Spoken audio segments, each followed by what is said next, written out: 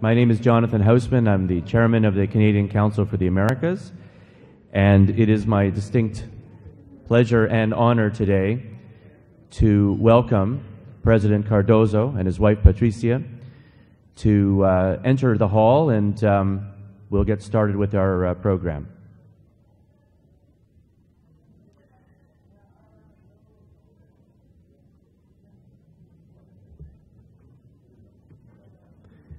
Welcome.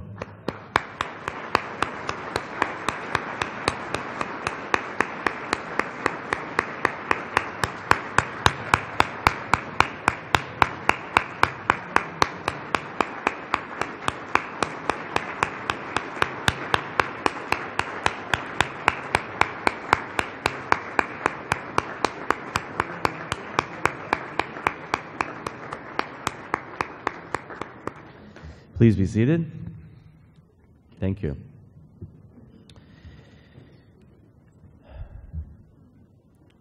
Good, good afternoon. Boa tarde. Um, as I said, we- have a great program today, and um, we are very fortunate to have President Cardoso with us. Um, before I talk a little bit about um, this event, I'd like to um, just talk about the year that was for the Canadian Council for the Americas. This was an action packed year. Uh, 25 events addressing the critical economic and political issues of the region. As well, C suite delegations both to the um, Pacific Alliance Heads of State Summit in Chile, as well as, of course, the state visit to Argentina and to Peru for APEC with the Prime Minister just um, short two weeks, three weeks ago. We also had um, a real impact, I think, in thought leadership in the country. Uh, publications not only in the Globe, who's also a partner today, I'm, I'm happy to say, as well as papers of record in Spain and in Latin America as a whole. We now um, have a packed program for the upcoming year, which we're happy to talk about uh, at the closing of the uh, event. But um, we have also had not only public events, but private events for our platinum and gold sponsors.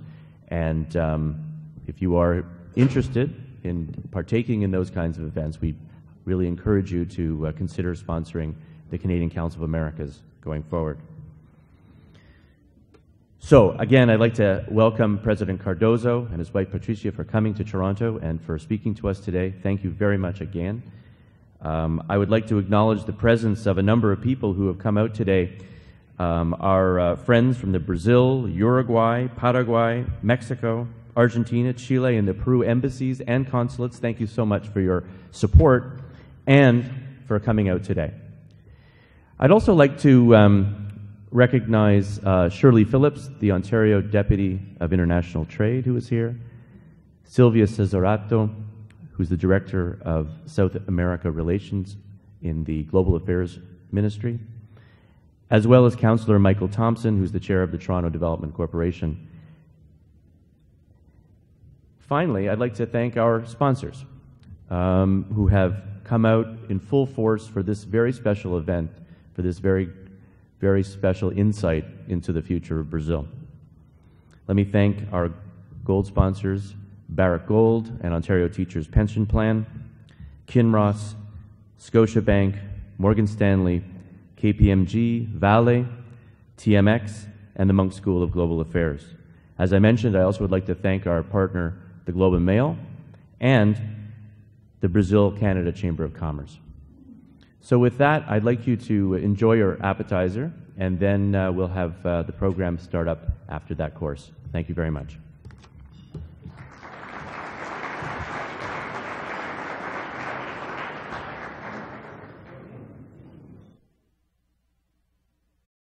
Um, ladies and gentlemen, I hope you enjoyed your lunch. Uh, I would like to call upon Ken Frankel, the president of the Canadian Council for the Americas, to make uh, some remarks and also to present uh, the Lifetime Achievement Award to President Cardoso. Ken?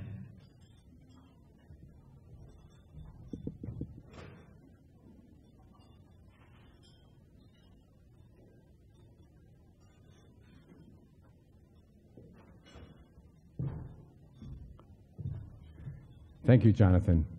President Cardoso, Patricia, thank you for coming up and being here with us today. And thank you to all of you for coming out on short notice and at Christmas time. We appreciate your interest in the programming that we do, and particularly in this event. In his memoir, The Accidental President of Brazil, President Fernando Henrique Cardoso recalls a conversation he had with his close friend, U.S. President Bill Clinton. President Clinton told our honoree today that every country has one great fear and one great hope. President Cardoso told President Clinton that in Brazil's case, the fear and the hope were one and the same. Brazil's hope has been to become a world power worthy of its size and to achieve greatness.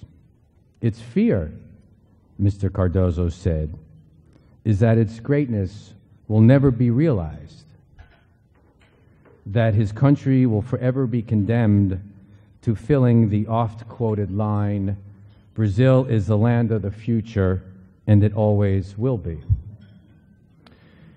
Despite its current economic and political challenges, Brazil is closer to realizing its great hope today than it was a generation ago. This is due in no small part to the efforts of our honoree today. As many in this room will recall, it was only a generation ago that Brazil was closer to realizing its greatest fear. Its inflation rate was 50% a month in 1994 when Mr. Cardoso, working as foreign minister for a caretaker government that followed an impeached president, was asked to take over the finance portfolio. Mr. Cardoso declined, and so told his wife, Ruth. When he awoke the following morning, he found out, much to his and his wife's surprise and consternation, that President Itamar Franco had announced publicly Mr. Cardoso's appointment as finance minister. So I imagine that was an interesting breakfast conversation. So before he was an accidental president, our honoree was an accidental finance minister. But no one should have been surprised. Mr. Cardoso was, after all, a world renowned sociologist and the co author of the seminal book, Dependency and Development in Latin America, a text that is still studied today. As finance minister, Mr. Cardoso assembled a team of top economists to help devise bold policies, including the famous Plan Real, which achieved the supposedly unachievable. Inflation fell from 50%, 50% a month to 1 to 2% over the next several years. On the strength of his performance as finance minister and his personal qualities, Mr. Cardoso was elect, elected president of Brazil in 1994 and reelected in 1998. President Cardoso's self appointed task as president was not modest. It was to remake the entire Brazilian state apparatus, fortify the institutions of a modern liberal democracy, and transform the economic structure and political culture of his country.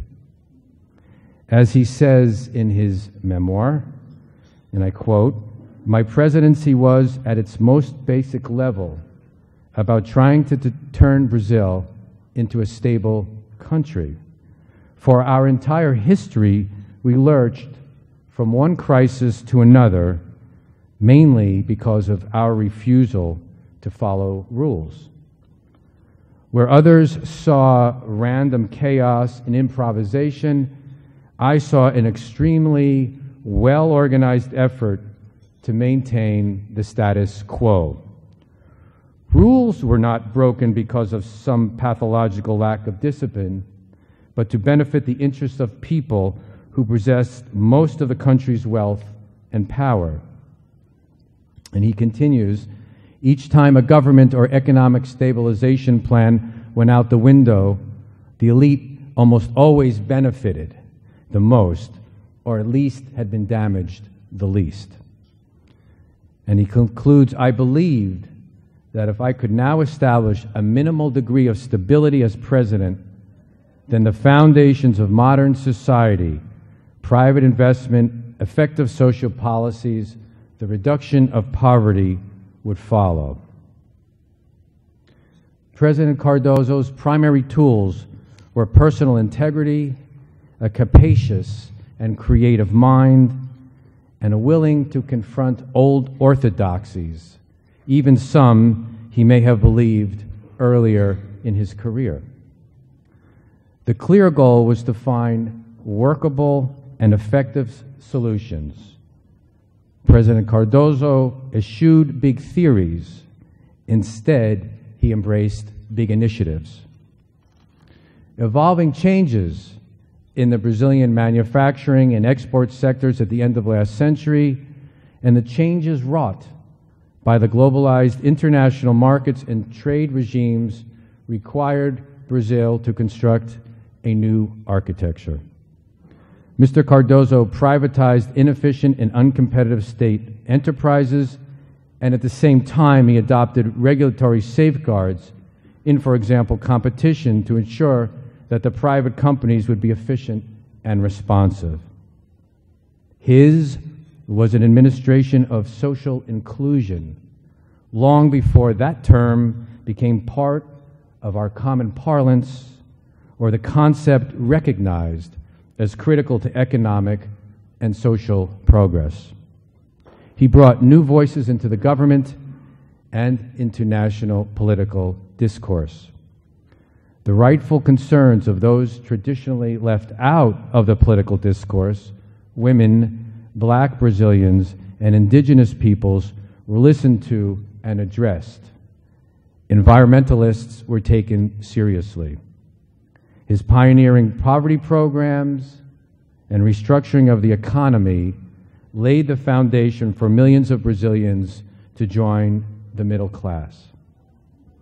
Land distribution to peasants was carried out, child labor was abolished, medical care was expanded.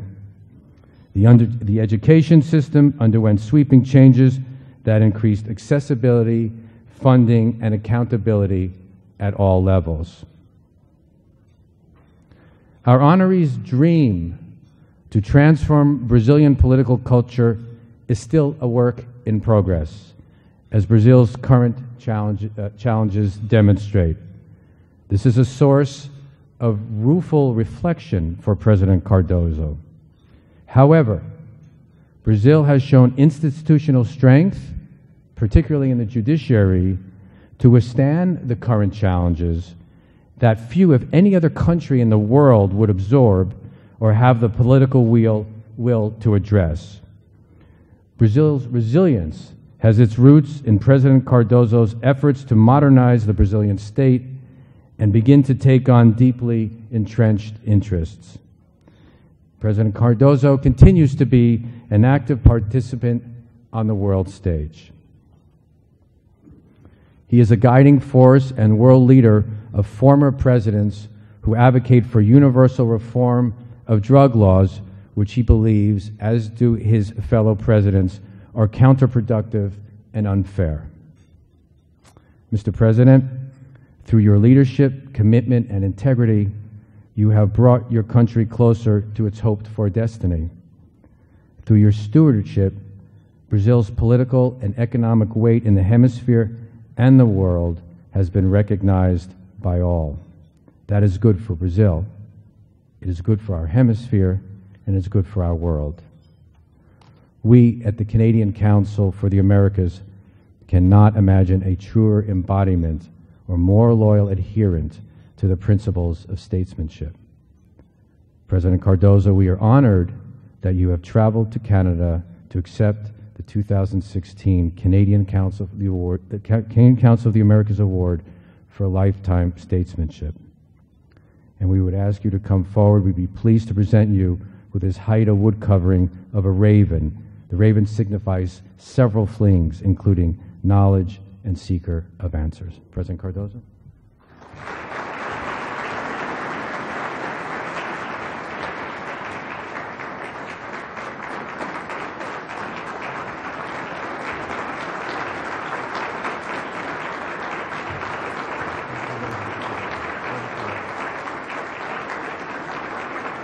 Thank you. Thank you. Thank you. Thank you very much.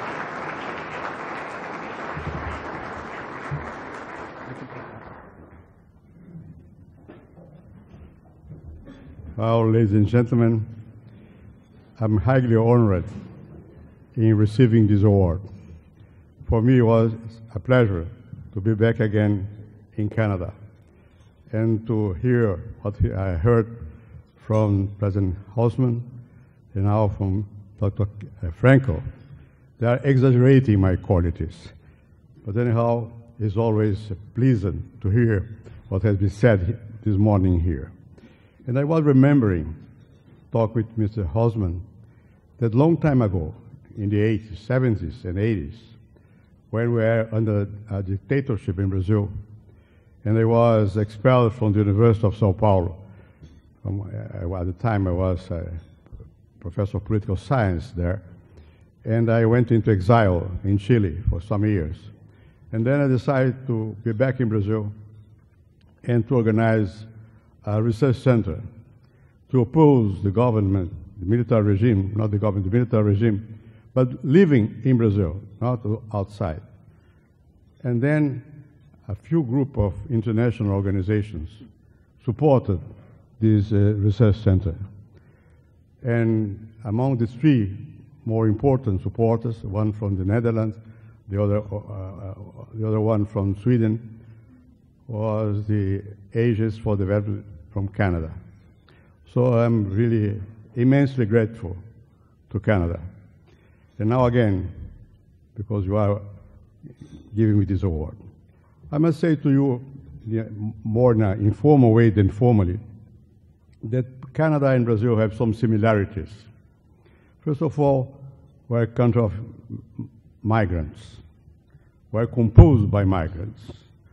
In our case in Brazil, we never know by looking if a person is Brazilian or not. And even reading the name of the person is impossible. The, the, the family name is impossible to see if you are Brazilian, a, a person is a Brazilian or not. Because really we are a, a melting pot, a real melting pot.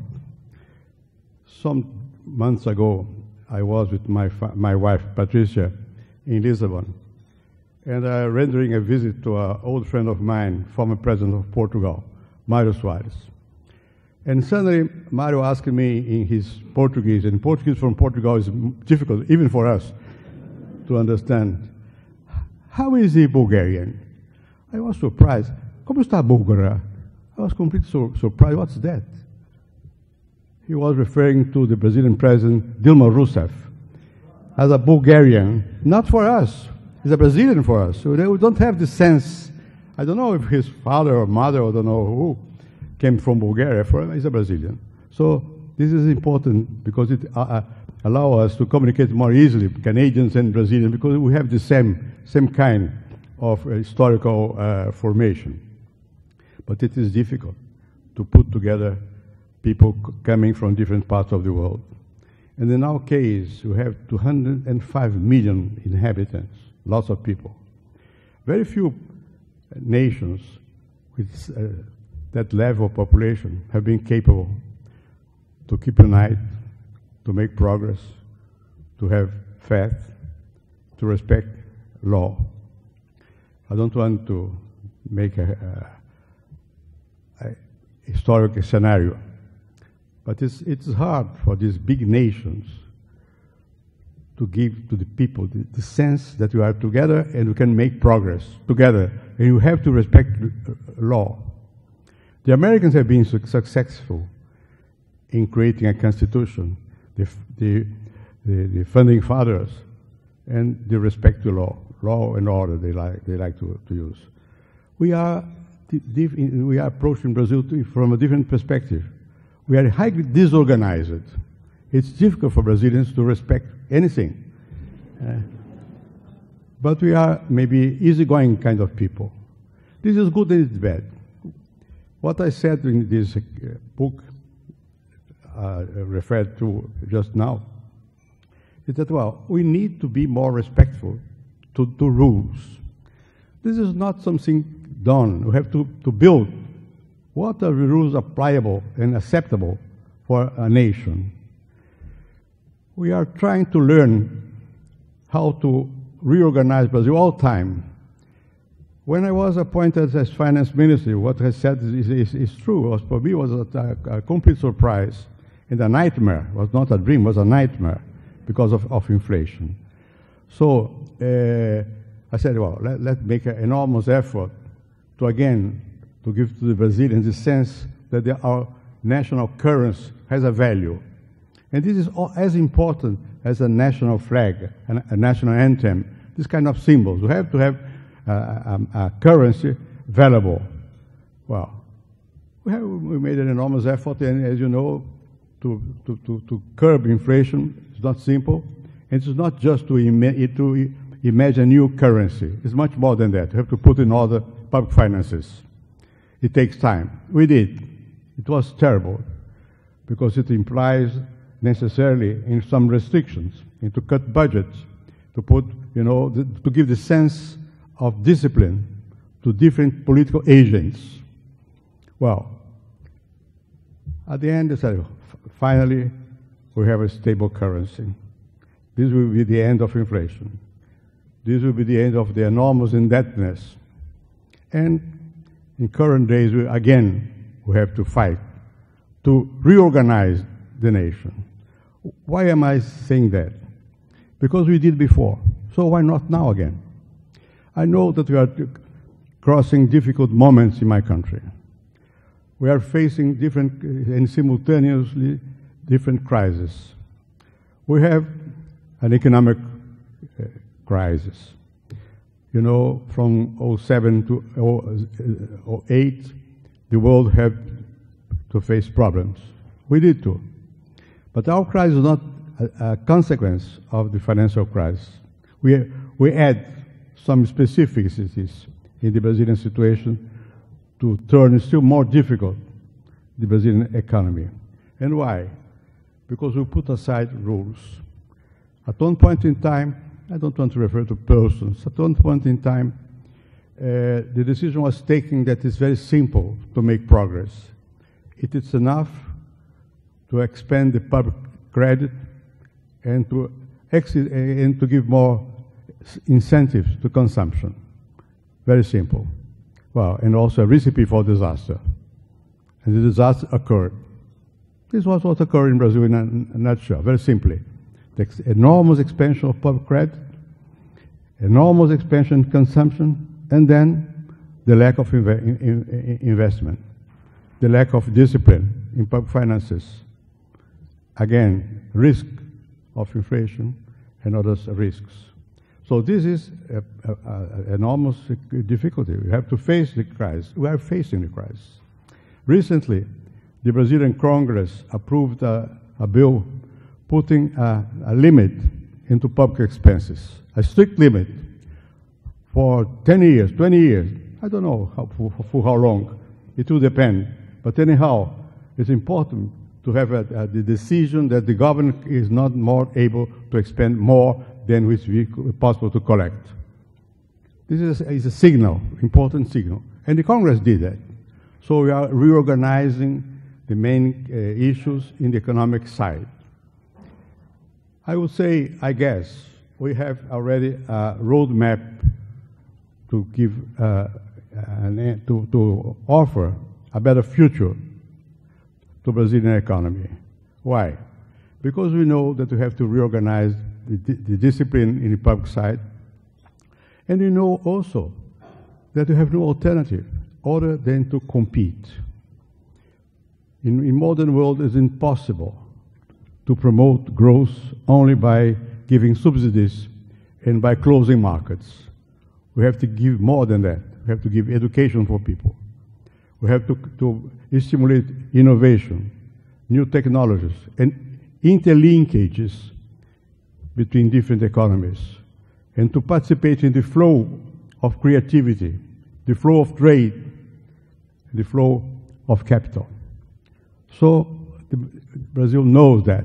We are trying to again organize the economy in, in, in such a way that it will be possible for us to continue to integrate into world level, to compete and to make progress by increasing productivity, by increasing, by giving better education.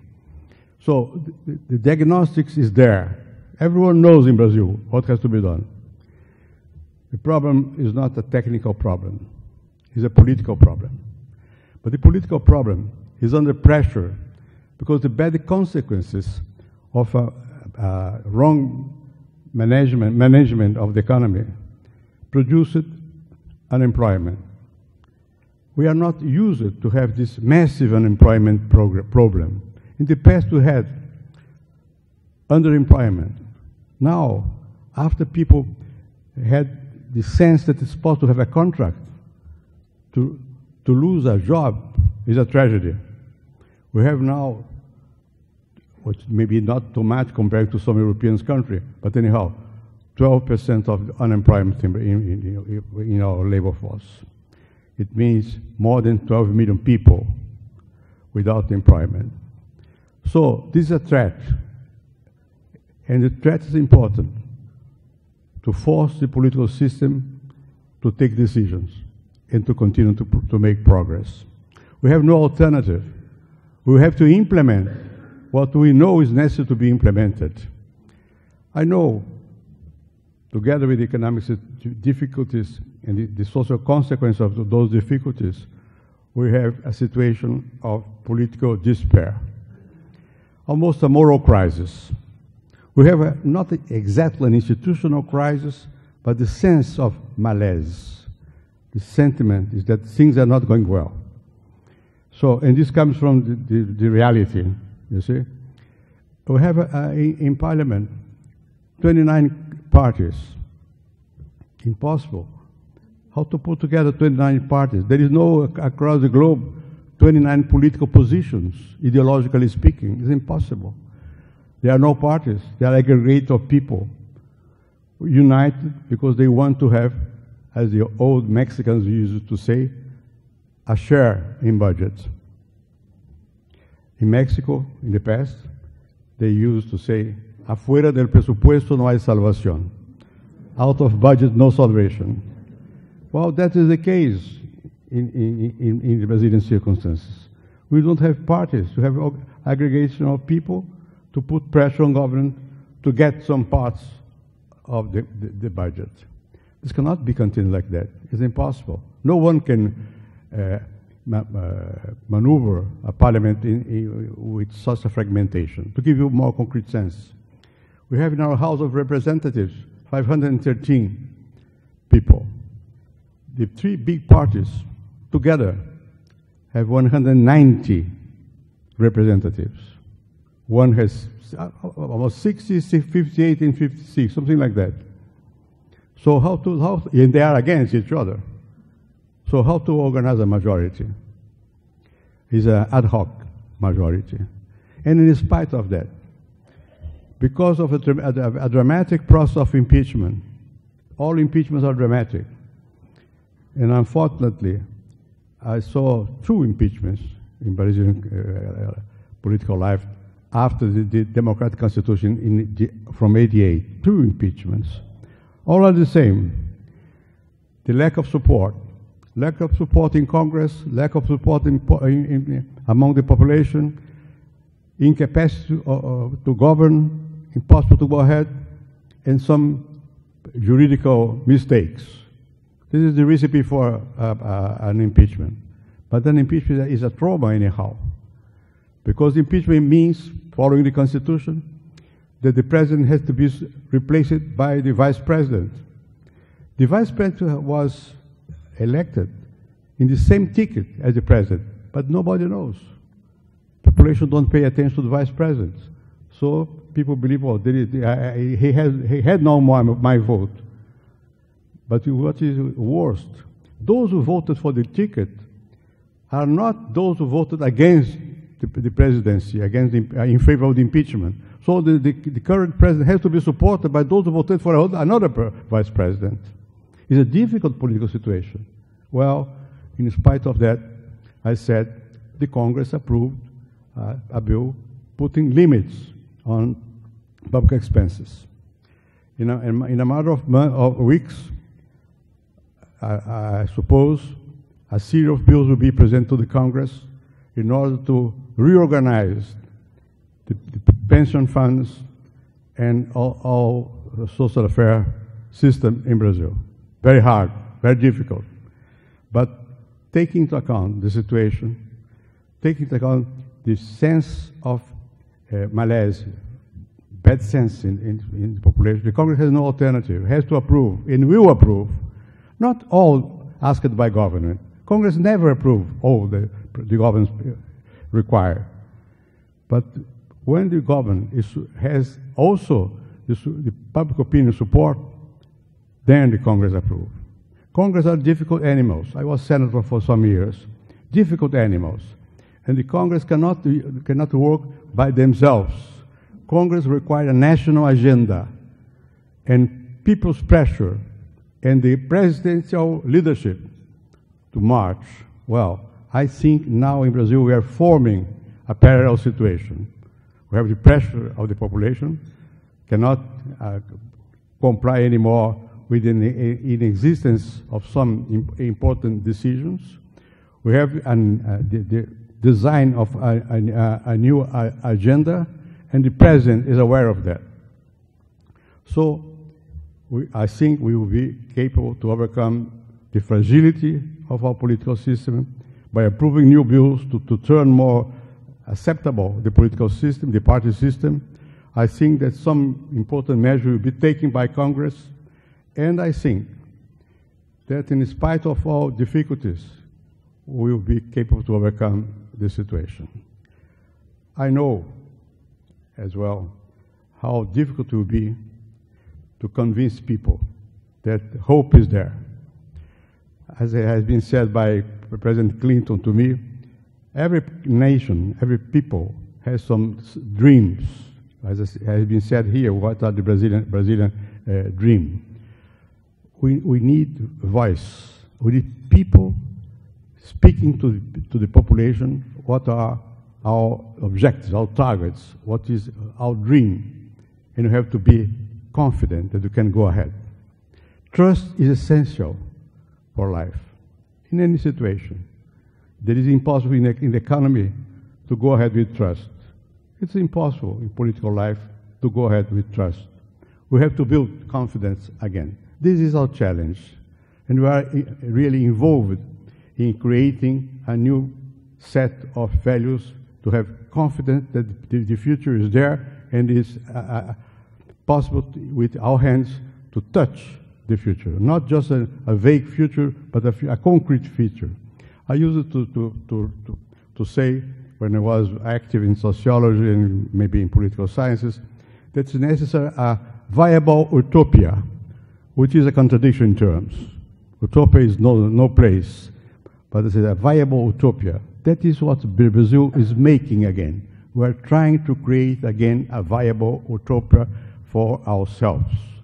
And we are marching on in that direction. I said to you that we have a political crisis, an economic crisis, even a moral crisis. Wow. But I have to say that the Brazilian institutions are working as well, are working. It's not simple in a country to, to see leaders, important leaders, being on trial, to respond to very serious accusations of bribery, of corruption. How many countries in, have been capable to put in jail maybe dozen or maybe more than that of important political leaders, important leaders in the economy, important uh, leaders in terms of popularity. And we did. We did. The press is completely free. Media is completely free in, in Brazil. And the, the, the, the judicial system is working independently from political pressures. More than that, the general attorneys in Brazil and all the system together is working independently from political pressures. Of course, political pressure exists all the time, but they are taking decisions, and decisions are being enforced, are, are being respected. Someone asked me about the Supreme Court. To what extent the Supreme Court will be capable to keep going? Well, the Supreme Court in Brazil has the American format. It's composed by 11 justices appointed by the president and approved by the Senate and are appointed up to 75 years old. So they have independence. I must say to you that out of the 11 members of the Supreme Court, eight have been appointed by President Lula or President Dilma Rousseff. And the Supreme Court supported the, the process of impeachment, which proves uh, uh, complete independence from political interests, inclinations, and pressures. So my sense is that we are continue to to enforce the decisions by the judicial system, and in a dramatic way, the Brazilian population will again be capable to regain trust, to regain confidence. Let's conclude these very simple words by not just, uh, again, expressing my gratitude to all of you, but also uh, by saying that the sense I have that it's possible to overcome the current uh, difficulty is not because I won. It's because we belong to the West. This is important to remark. We are, we are foreign Westerns, but we are Westerns. So the necessity of rules, the sense of constitution, the sense of individual as a person to be respected, all this belongs to our culture. I start by saying that we are close to the, the formation of Canada. We, our culture is maybe a multiplicity of cultures. But uh, in this multiplicity of cultures, there is an axe, and the axe is Western. My, my main preoccupation is exactly the same thing I have referred to.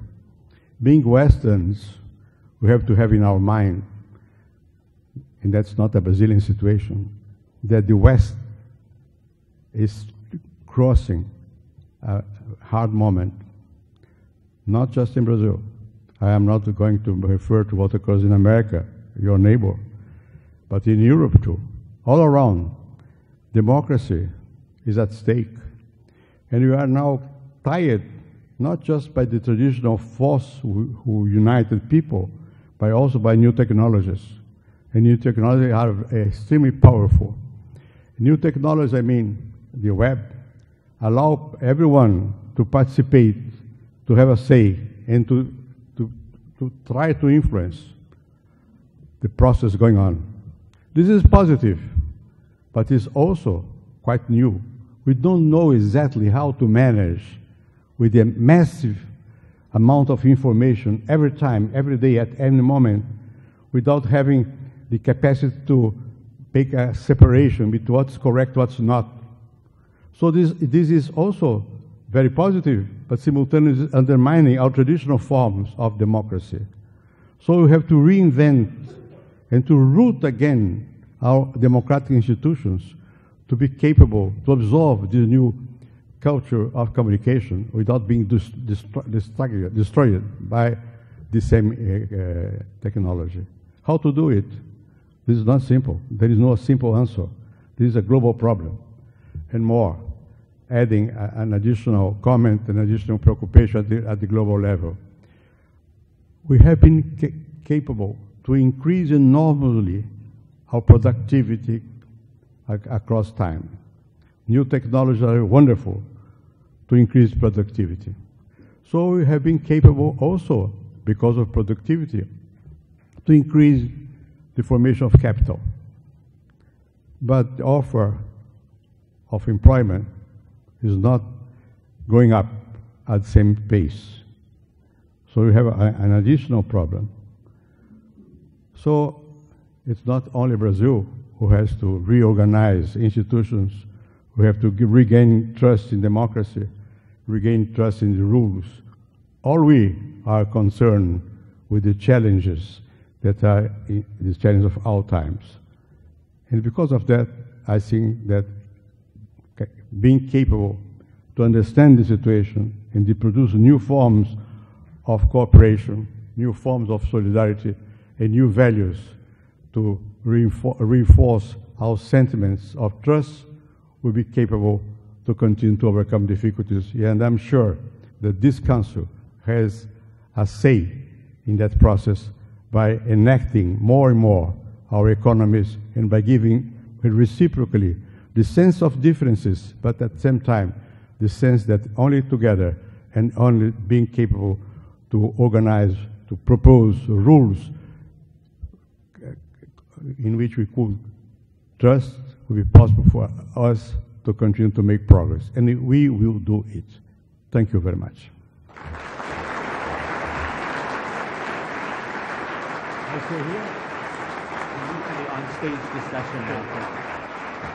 Thank you very much.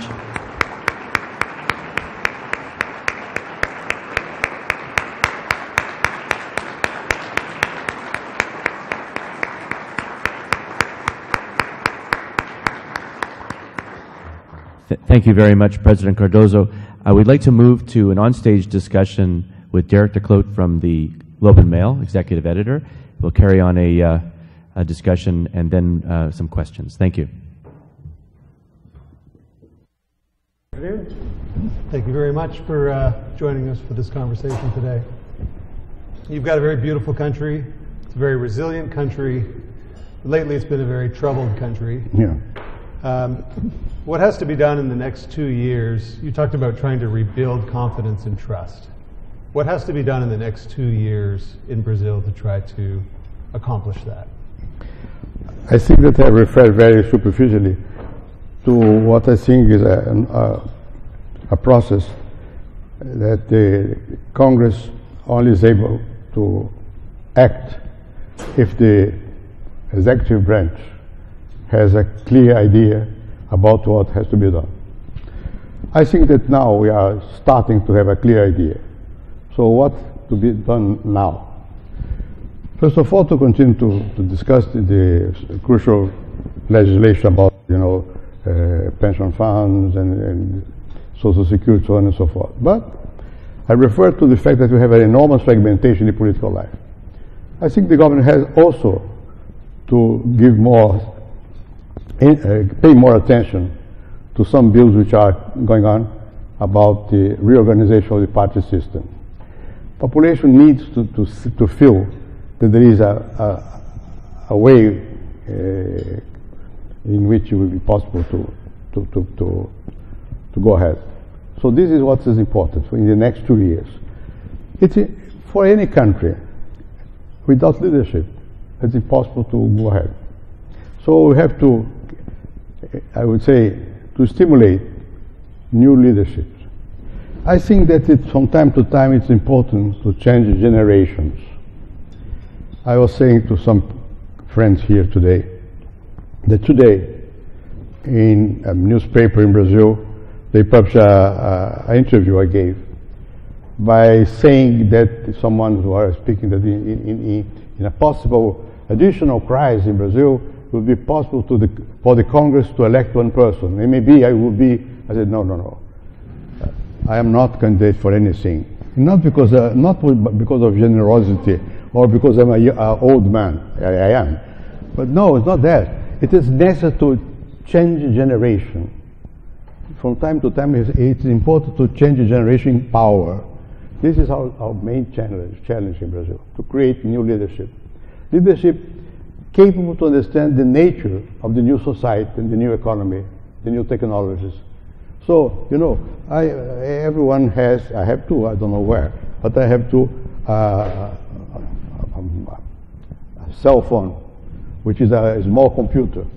But I don't have the capacity to use the cell phone as a young person is, is capable to, to do it.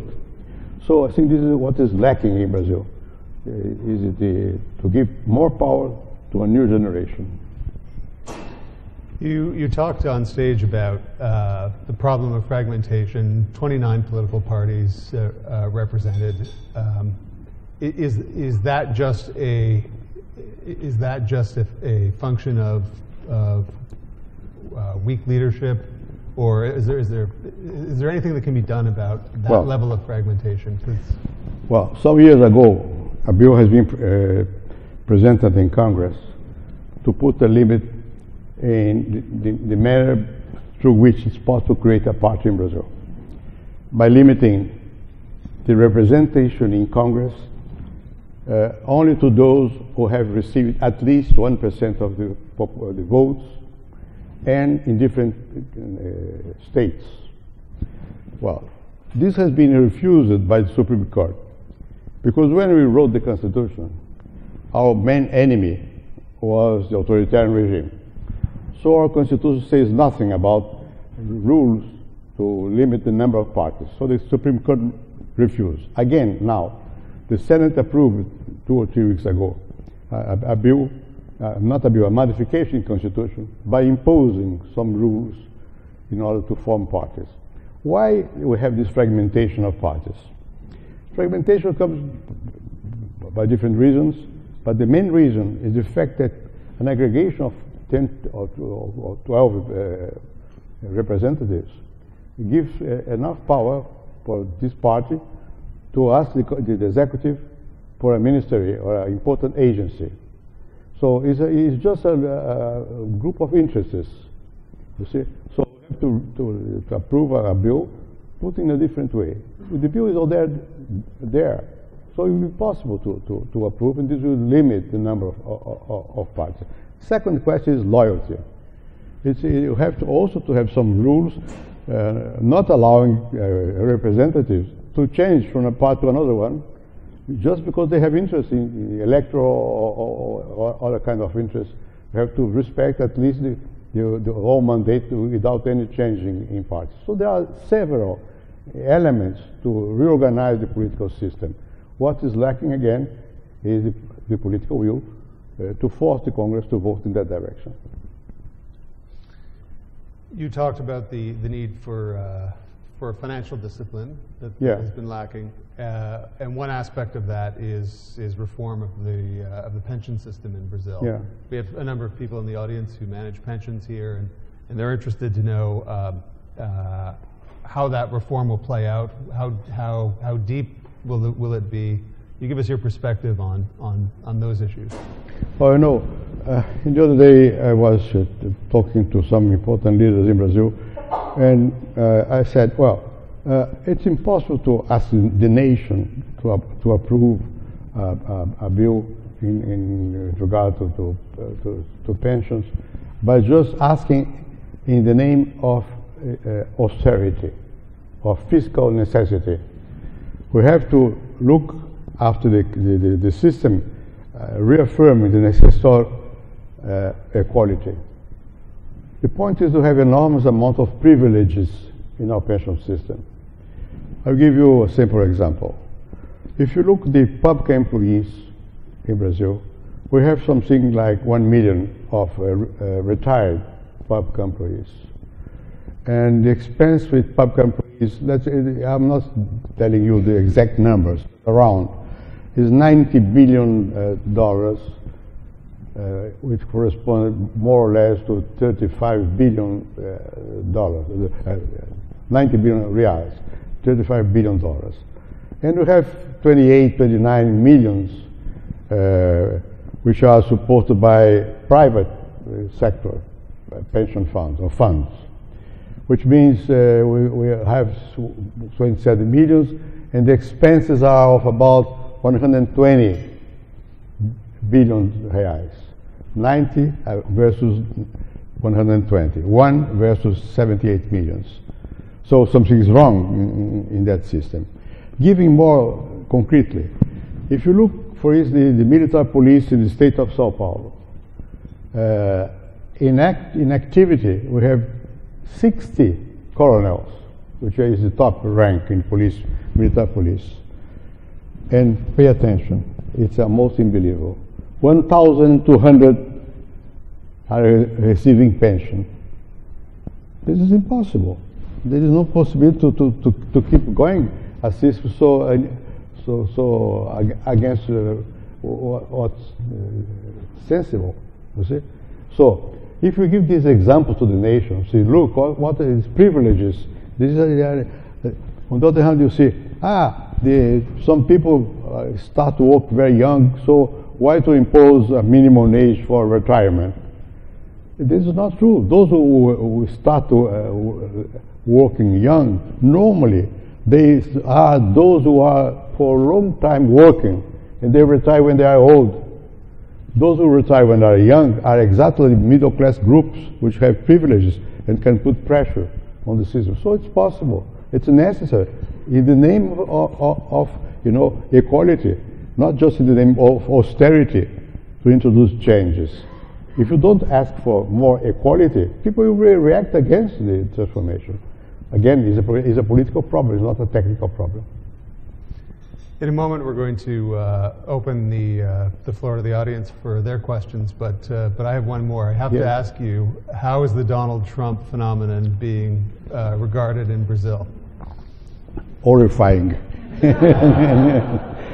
well, for, for us, it's difficult to understand because of the, what has been said before. I don't know. Let's see how Trump will behave. In politics, always more prudent to, to see to, uh, before to judge. But anyhow, from what has been said before, you know, Trump, well, said that it's necessary to, to, to, to build a, a, wall between Mexico and the United States. Well, this is an outrage. It's uh, unbelievable as a, as a a, proposal from, from a, a, man like him. Now he uh, phoned to the anti-Chinese uh, leader. Why? It's a provocation with respect to the Chinese. I think that what happened in the world now, we have to pay attention in, in depth, because the world we live it after the maybe the end of Cold War is in, uh, is in part due to what has been done by Nixon and when Nixon, under the influence of, uh, of Kissinger, decided to accept China as a part of the world. Okay, differences, but part of the world. The, Ch the Chinese, well, evolved and decided let, us try to converge. And, you know, it's extremely difficult uh, uh, when a, a, a new power is going up the old power normally is more aggressive and the war is possible historically speaking, was like that. So the Chinese are proposing not to enter into this kind of conflict. This is due to what has been done by Kissinger and, and, and Nixon a uh, long time ago. So the Chinese are well, what is happening now in, China?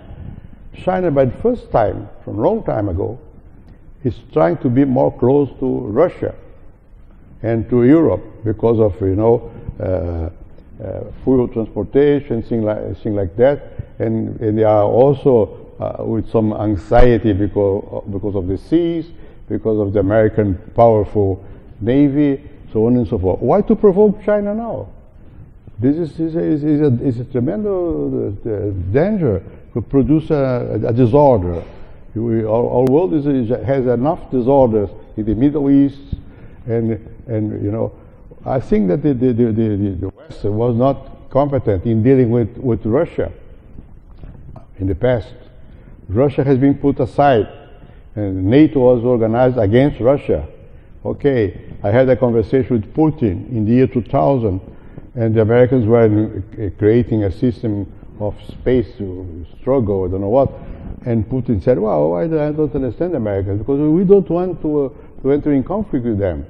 The only ones, uh, China was not enough powerful, the only ones who could, you know, confront the Americans are, we are, but we, are don't, we don't want to do. We, I don't understand. In spite of that, the, the West has been always skeptical with respect to the capacity of the Russians to integrate the big table of the, the, the, the, powerful people in the world. So now the Russians are reacting a different way. They are supporting war in Syria. They are trying to, to take Crimea. They are making a, provocation in Ukraine. So we are living in a difficult world. Why to provoke the Chinese in this difficult world? So this is what seems to be difficult to understand. What will be the, the strategic view by, by Trump? What, uh, let me say, for Brazil, the fact that the, probably the, the, the, Trump's decision will not affect us directly. We have an enormous trade with China, with America, with Europe. We are diversified in our commerce. Maybe like Canada, it's maybe a good opportunity if the Americans uh, are going back. Well, okay, we, we can enter in this space. I'm not saying, I'm not speaking the name of the national interest. I'm speaking in terms of, in, from a global perspective. So that's why I said horrifying was the reaction. uh, we'll take now some questions from the audience. We've got time, I think, for a few. Um, if you'd like to ask. If there are questions. like to, right here. Please speak uh, loudly. Could you um, talk a bit about crime in Brazil? It's been a problem for a long time. Within the challenges facing the government, how, how can they approach I, I don't hear. Uh, the question was about crime. Yeah. Yes, Ah, yeah, the, oh, yeah, the yeah, amount yeah. of crime in Brazil. Well, how, yeah. how can the government approach the Well, the problem? This is a, uh, we are going bad in, in terms of crime. Why? As you said here, I belong to a group of people, including some well-known, as Kofi Annan and others. Uh, eh, we are trying to convince that it's be- better to, to look after drug in a different way, because the war on drugs is a lost war. Well, the main question is drug in Brazil. Crime is tied to two main things uh, armament and drug, contraband of armaments and drugs. And they came together. Uh, we, have, we are putting people in jail. We have uh, probably one, we are one of the five countries which more, more prisoners in the world. Uh, and inside the, the penitentiaries, the, uh, the control is in the hands of criminals. Criminal organizations are controlling penitentiaries in Brazil, and they control uh, organized crime, dealing with drugs and armaments. And now you have still a, wor- a worse situation, because in the, in the province, in the state of São Paulo, we have only one big organization which control crime. Uh, in Rio, there are several organizations. Uh, they fight each other. Uh, so the, the big one, which is uh, rooted in São Paulo, is trying to control all Brazil. And they are making war against the other organizations. And also some of them are trying to enter into Paraguay. Up to very recently, we never had any direct linkage between crime and politics. Now, since the Supreme Court took the decision to prevent any kind of private financement to politics, the only ones who have cash are the criminals. I saw a similar situation in, Colombia, in Mexico, in Central America. So this is the beginning in Brazil. In the last election, last year, in local areas in Rio, some, some murders are the result of this, the fact that the criminals are entering into political life. So I think that this is a dramatic, uh, critical situation. And you have to, fa- to face this situation by innovating. It's not possible to put so so many people in jail in, in terrible uh, human conditions. This is the, the instrument to be used by the criminal organizations. The criminals, they, they offer protection to those who are in prison and also to their families they, they, they tax this, the, the, the, crime by, by using the money to support, for, to support families. So they are powerful and they are rooted. So I think this is maybe a, a, a very dramatic question in, in Brazil and in, in, in all America. Another question, right back here. Uh, President Cardoso, what's your view on the future of Mercosur? Oh, yeah. Well, I think that, um, as you know, we have a new president in Argentina and a new cabinet in Argentina. And uh, this new government, I think, uh, is more uh, inclined to cooperate with the Brazilian government. Uh, and at least the, the, the Brazilian foreign minister who is very close to me, was my student a long time ago. Uh, he, he knows that it is important for us to have this close relationship with Argentina.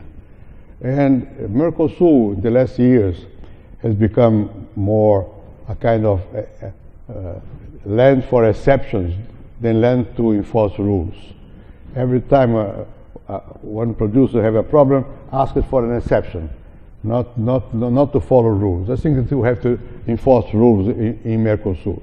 On the other hand, this is my own, is not Brazilian government opinion, it's my opinion. I think that Brazil has enough uh, conditions in, in nowadays to open more, more the Brazilian economy, at least with respect to South Americans, to South unilaterally. It's, I think it's possible for Brazil to be much more audacious in taking measures to reorganize South American.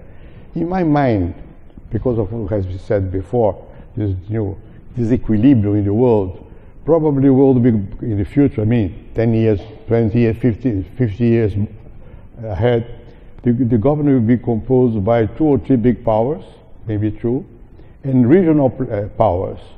And I think that the, the Brazil and Argentina have to play an important role in South America, in organizing the economy in, in, in South America, not excluding the rest of the world, not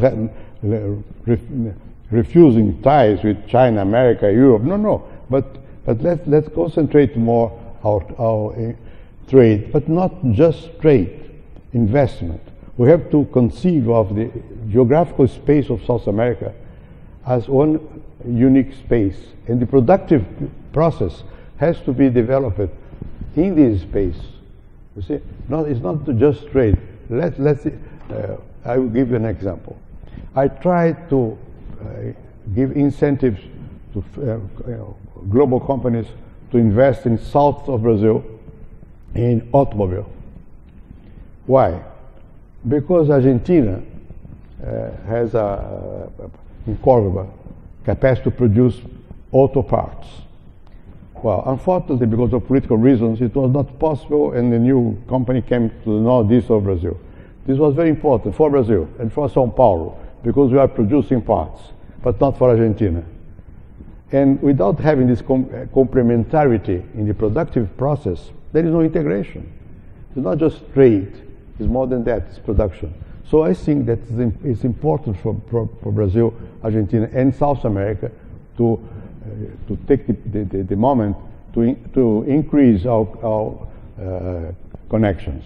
And because of the Americans now changing their minds with respect to the Pacific, I think this is a mistake, but they are because of, of Trump. Probably Chile, uh, uh, Peru, and Colombia, which were much more in, inclined to be in, con, in, the context of the Pacific, have to be again uh, uh, looking back to Atlantic America. So that's the moment for us to uh, increase our, our, ties. That is the way I, I look after, after Mercosur. We'll have to leave it there. Thank you so much, uh, President. Well, thank you very much again.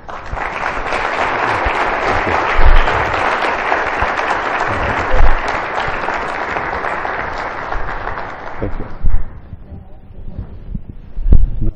Thank you very, very much, um, President Cardoso. Thank you, Derek, uh, for your interview. And um, uh, just to thank our sponsors once again for uh, supporting us in this very special event, and to thank President Cardoso and to congratulate him on his award. And um, just would invite everyone to uh, look out for notices from the Canadian Council for the Americas for future events in the new year. Uh, we have our economic outlook coming up in January 11. Thank you again. Thanks for coming.